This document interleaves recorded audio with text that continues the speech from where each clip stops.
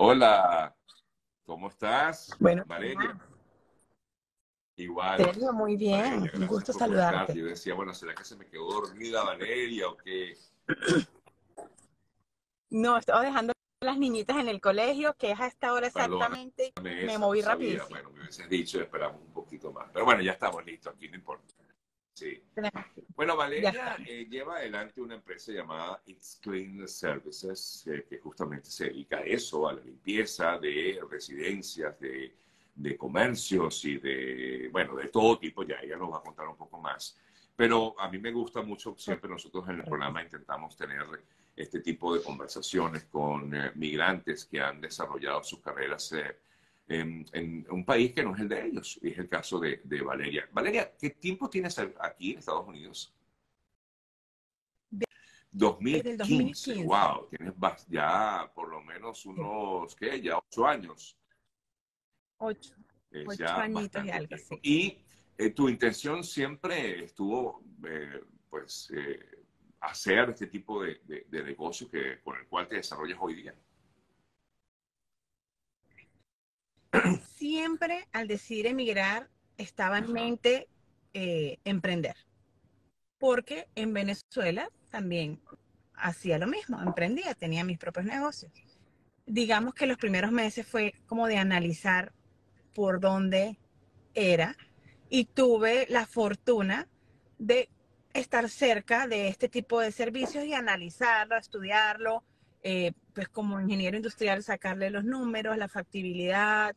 Eh, es un país de servicio absolutamente, de vivir el día a día de que o trabajas o limpias o cocinas o limpias, por eso aquí también hay tanto catering que te llevan tus loncheritas, porque, bueno, no te das chance de hacer todo, porque estás solo como inmigrante y este ritmo de vida en los Estados Unidos te llevan. Tú no vas, como digo yo, tú no vas, sino Sí, te llevan. ahora, ¿por qué te decidiste entonces por esta, por esta eh, línea, digámoslo así, ¿no? De la limpieza. ¿Tú te veías afectada quizás en lo personal? digamos que soy Ah, extra, como dicen aquí, Ok. picky con esto. Soy súper maniática con el orden, con la limpieza, con que todo debe estar en su lugar, con que tengo que usar los productos desde siempre, desde Venezuela en mi casa. Esto es para este producto, es para esto, esto es para esto. No todo puede ser con agua y jabón, para eso hay productos específicos para las cosas. Y aquí explotó esa maravilla que tenía internamente Ok. en mí y no conocía. Y, y fue cuando lo desarrollé y digamos que, que lo estudié para poder llegar a donde gracias a Ahora, Dios hoy eh, tú estamos en dices el que estudiaste, estudiaste que el mercado, estudiaste todo. Estudié el mercado, estudié los productos, estudié los tipos de servicio que podía ofrecerles a las personas, no simplemente, mira, voy, te limpio tu casa y ya, sino qué tipo de servicios más allá te puedo abarcar, porque a mí no me gusta decirle a la gente que no, sino siempre, ¿tú haces esto? Sí. ¿Y me puedes también hacer las alfombras? Sí.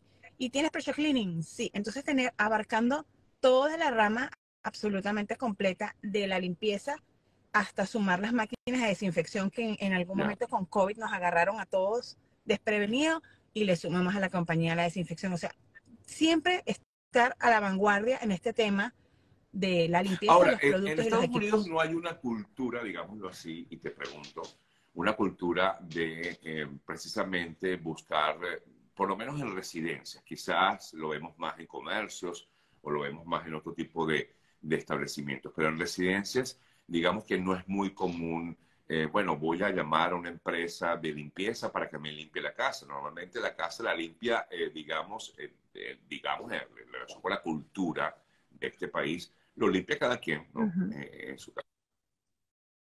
Sí, Ajá. pensaba yo también eso, porque en, bueno, en nuestros países teníamos a alguien que nos apoyaba en casa, no una compañía. Aquí es absolutamente lo contrario. Aquí en temas de demandas, seguro, liability, worker compensation, no meten a tu casa a alguien Claro. que no tenga todo el día. Y eso para nosotros como compañía es una maravilla porque lo tenemos. Es una regla, es una norma tenerlo y es una garantía de servicio. Eh, si tú metes a una persona que te apoye, pero que no tenga una liability o una work compensation y hacen un dañito Claro. en tu casa, no te lo van a responder. Con una compañía aquí está esa cultura de, bueno, dame tu liability para que entres a mi propiedad, dame tu work compensation, si pasa algo, la compañía te responde. Entonces, esa cultura sí existe aquí, que en Latinoamérica no hay, no existe. Y a veces la gente cree que por ser compañía es más costoso. No.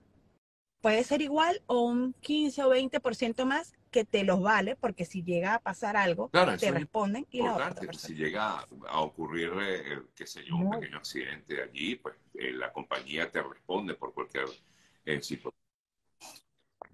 Correcto. Y tenemos clientes que les ha pasado, que han tenido esas vivencias desagradablemente con personas naturales, llamémoslos así, y que, bueno, llegan a la compañía y al contrario, luego son quienes nos mandan referidos y están desde hace ¿Ya la compañía tiene qué tiempo? Eh, eh, desde el 2017 va a cumplir siete años. Una vez que ya empezaste aquí, inmediatamente comenzaste a ver ese mercado. Inmediatamente, eh, todo el condado de Miami-Dade. Y bueno, hemos estado en expansión, gracias a Dios, y bueno, al esfuerzo y a las ganas que uno siempre tiene de emprender como venezolano eh, decidimos ser franquicia.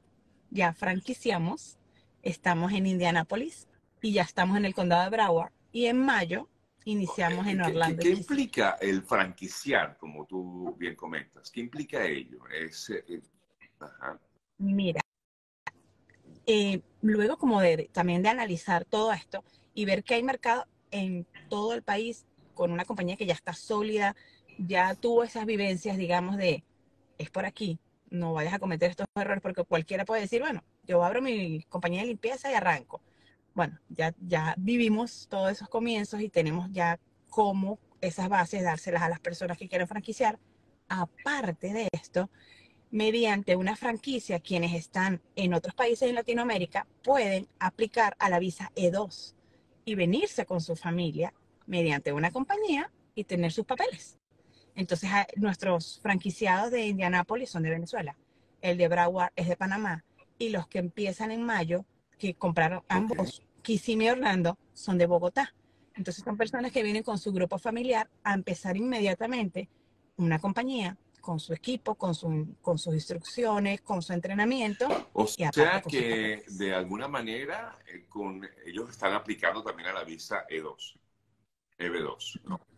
Correcto mediante una, franquicia. Que de alguna manera pues eh, son inversionistas. es una visa de inversionista. La EB2, la E2, E2, exactamente. E2. Es la visa de inversionista. O sea que ya por allí también hay una opción, ¿no? Correcto.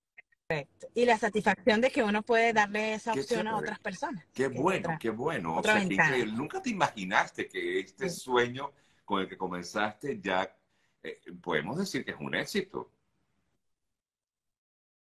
Yo me siento feliz y cada día, bueno, así sumando granito a granito y haciendo las cosas correctamente como debe ser paso a paso para que siga fluyendo como hasta ahora, pero sí, es un logro que vamos juntos de la mano, mi esposo y yo, día a día, haciéndolo más, más realidad. despertado interés. Eh, ¿Puedo, eh, bueno, preguntan primero, ¿hay un costo de la franquicia en particular?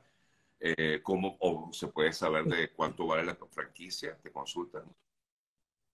Mira, en arroba It's Clean Services hay un enlace y allí le haces clic y llenas todos tus datos e inmediatamente los abogados de la franquicia te mandan toda la información, la FDD, que es el documento legal de la franquicia a nivel mundial, registración de la marca y de ahí en adelante empieza cualquiera que quiera información. sin ningún y te preguntan, si abro una franquicia, ¿esto me ayuda a obtener la visa que tú comentas? Ok.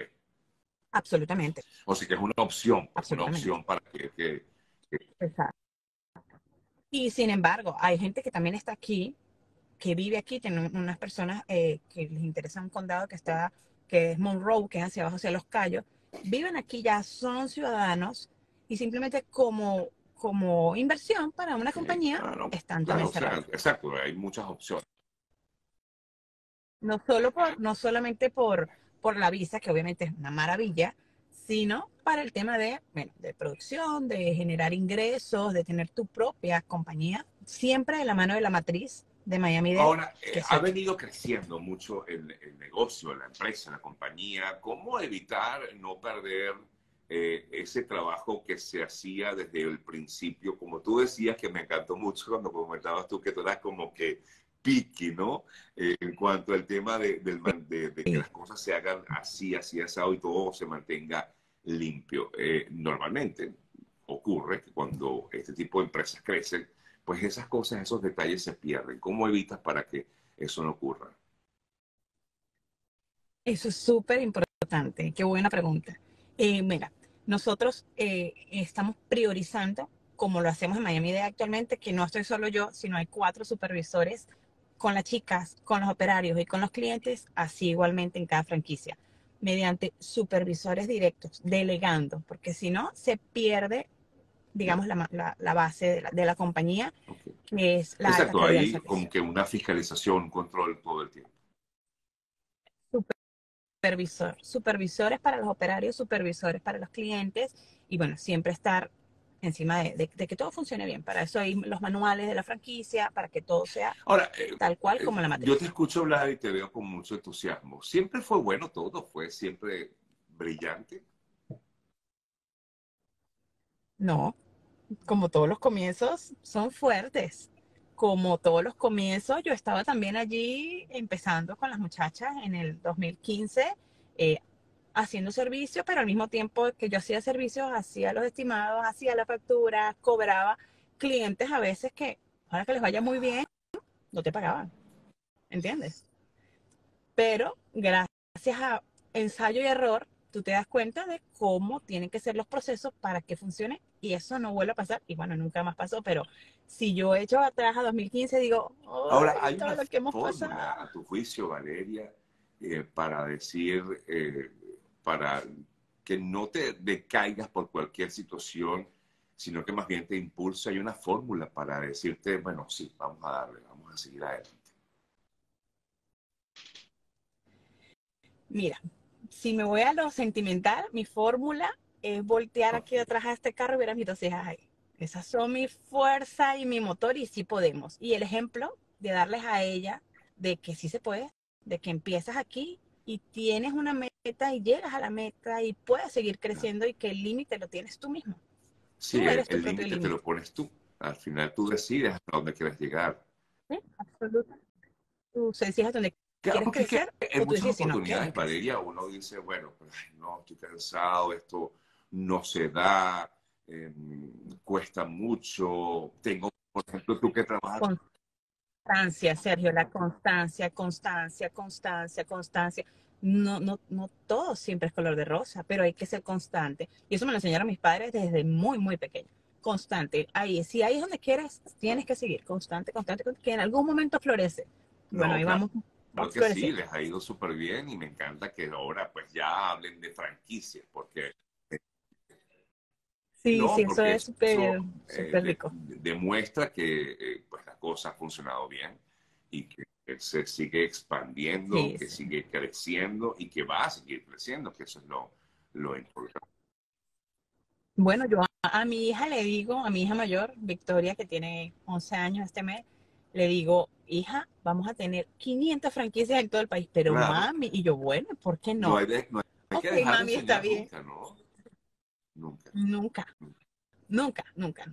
Además, esa es como tu motivación diaria. Y la fuercita, y sí se puede. Mira, ¿qué te consultan? Bueno, te comentan la constancia, Dios la premia, efectivamente, gracias. Este, ¿A quién? A Gold, bueno, eh, Property, dice alguien aquí que se identifica de esa forma. Nancy, estoy en Houston, dice, estoy interesada, ¿qué puedo hacer? ¿Qué debo hacer?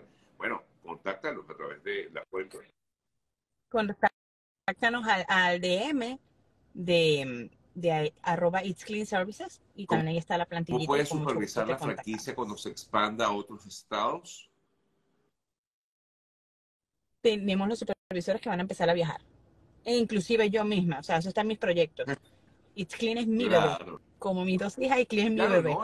Entonces yo soy la, la, la, que más interesada en que le vaya bien a los franquiciados porque me va a ir bien a mí. Sí, efectivamente, ¿no? Claro, no puedes estar en todas. No, pero para eso se delega y hay supervisores que van a viajar, más supervisores de zona por estado Eh, y bueno, ¿qué los nacionales. ¿Qué of- servicios ofrecen? No, no solo limpieza del hogar. Quizás yo me, me enfoqué en el hogar porque uno está como en una casa. Pero, pero, pero cuéntanos su tú, casa. ¿qué, ofre- qué- qué servicios? Mira, nosotros manejamos servicios residenciales y comerciales. Y te puedo decir que es como 60% comercial y 40% residencial. Eh, nosotros manejamos torres completas de janitorial, que en nuestro país le decimos conserje, que es una persona que está allí limpiando los pasillos, los ascensores, las entradas, las áreas de piscina. Eh, en las áreas de playa tenemos servicios de beach attendants, que son las personas que sacan las sillitas y las sombrillas, por ejemplo. Eh, también en los centros comerciales tuve siempre una persona con un carrito limpiando. Teníamos nuestro personal también. Eh, restaurantes, que entramos cuando cierran las 11, 12 de la noche y se trabaja toda la madrugada. Oficinas de seguro, Pues dealers, iglesias, eh, hoteles, eh, spas, eh, centros médicos, daycares de, de los niños, que Ah. son servicios que se tienen que hacer diario porque, bueno, eh, O los sea que al niños, final, eh, fu- la- la- digamos, lo, sea, las el- escuelas, el- las iglesias. lo fuerte o el, o el grueso no está en la parte residencial, todo lo contrario.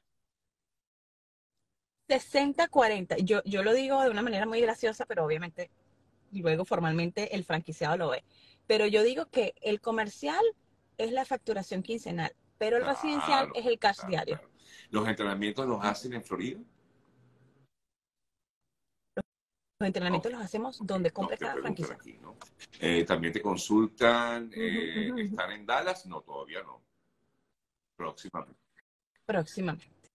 Y esta mañana nos estaban escribiendo de Puerto Rico. Le dijimos, bueno, también próximamente. Yo, yo a todo mundo le digo que sí, yo nunca digo que no, porque bueno, hay gente que querrá en Puerto Rico y comprará su franquicia y estaremos Eh, en los clientes, ¿quién los aporta? ¿La franquicia o el franquiciado? Eso no lo entiendo. Ajá. Digamos que a ambos. ¿Por qué? Porque nosotros trabajamos con property management que tienen propiedades en todo el país y bueno, nos estamos enfocando actualmente en las que yo manejo en Miami-Dade, en Orlando, en Kissimmee, pero ellos van creciendo con nosotros. Pero aparte de eso, las plataformas, las redes, la publicidad se va expandiendo en los zip codes donde vamos estando y ahí es donde directamente llegan los clientes a nosotros por Instagram, por mensajería de WhatsApp Business, por la página web.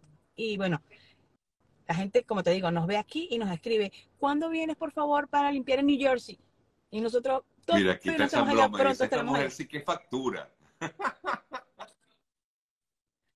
Dios quiera, estamos idea, en expansión, es la la idea. idea, es la idea, o sea, y bueno, y también tú tienes una satisfacción, o bueno, yo la digo propia, porque tienes un equipo de trabajo que son la matriz de la compañía, que yo los amo, eh, además que, que es la base de la compañía, y bueno, ellos son, gracias a ellos es que nos hemos expandido por la calidad de trabajo, del entrenamiento que sirven, pero también la buena actitud al trabajar en la compañía. Se sienten bien, nos sentimos Para todo bien y eso sirve. personal tiene que ser con permiso de trabajo. La persona tiene, sí, sí, tiene que Absolutamente. Su, su permiso de Absolutamente. trabajo.